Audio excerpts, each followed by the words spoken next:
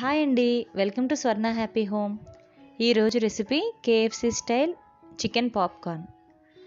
దీనికోసం చికెన్ని byte size పీసెస్లో ఇలా చిన్న ముక్కలుగా కట్ చేసుకొని ఒక పావు కేజీ వరకు తీసుకోవాలి. ఒక బౌల్లో అరకపు పాలు తీసుకొని దీనిలో ఒక ఎగ్ బ్రేక్ చేసి వేసుకోవాలి. తర్వాత దీనిలో అర టీ స్పూన్ కారం అర టీ స్పూన్ ఉప్పు అర టీ స్పూన్ గార్లిక్ పౌడర్ అర టీ స్పూన్ జింజర్ పౌడర్ పావు టీ స్పూన్ ఒరిగానో పావు టీ స్పూన్ మిరియాల పొడి వేసి బాగా కలుపుకోవాలి.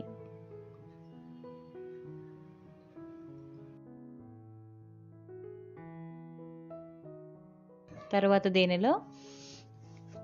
చిన్నగా కట్ చేసుకున్న ఈ చికెన్ ముక్కలు కూడా వేసి బాగా కలిపి మూత పెట్టి ఒక రెండు గంటల పాటు ఫ్రిడ్జ్లో ఉంచుకోవాలి.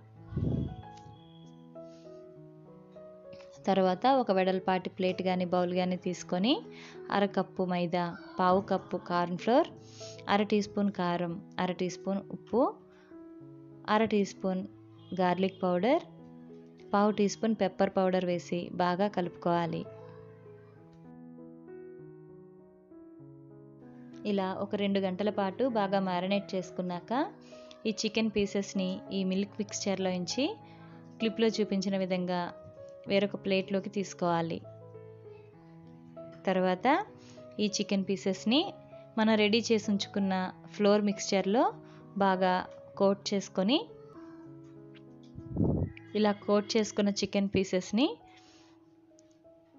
మనం ఇందాక మ్యారినేట్ చేసుకున్న మిగిలిన మిల్క్ మిక్స్చర్లో ఒకసారి డిప్ చేసుకోవాలి.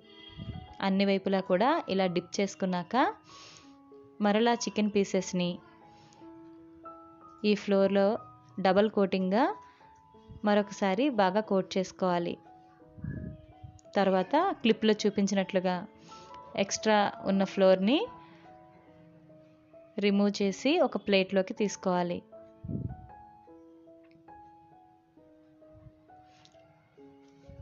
ఇదే విధంగా మిగిలిన చికెన్ పీసెస్ అన్నిటికీ కూడా డబల్ కోటింగ్ చేసుకోవాలి.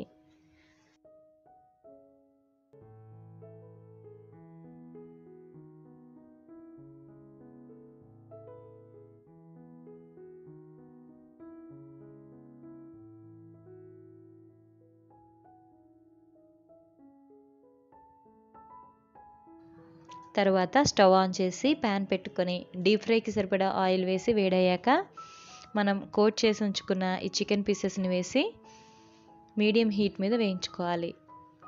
చికెన్ పీసెస్ వేసిన వెంటనే కలపకుండా ఒక రెండు మూడు నిమిషాల తర్వాత వేయించుకోవాలి. లేదంటే కోటింగ్ అనేది ఊడిపోతుంది. కాబట్టి కొంచెం వేగాక ఆ తర్వాతే ఇలా గరిటతో కలుపుకుంటూ అన్ని వైపులా కూడా క్రిస్పీగా మంచి గోల్డెన్ కలర్ వచ్చేంత వరకు వేయించుకోవాలి. ఇలా మీడియం హీట్ మీద వేయించుకున్నాక పేపర్ టవల్ మీదకి తీసి వేడివేడిగా కెచప్తో కానీ మైనస్తో కానీ సర్వ్ చేసుకోవచ్చు. ఈ పాప్కార్న్ చికెన్ సేమ్ కేఎఫ్సి స్టైల్లో చాలా టేస్టీగా క్రిస్పీగా బాగుంటుంది. ఒకసారి ట్రై చేయండి. Thank you for watching and please subscribe my channel.